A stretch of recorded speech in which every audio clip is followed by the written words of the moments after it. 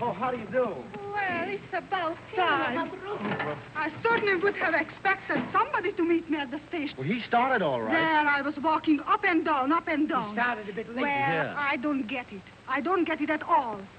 What was the matter? Uh, he was scared. Scared. Scared of me. Yeah.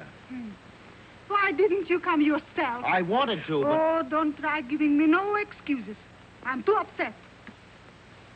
I want to say, it ain't my idea for a bride to arrive at her future home in a mail truck. Is this the way up?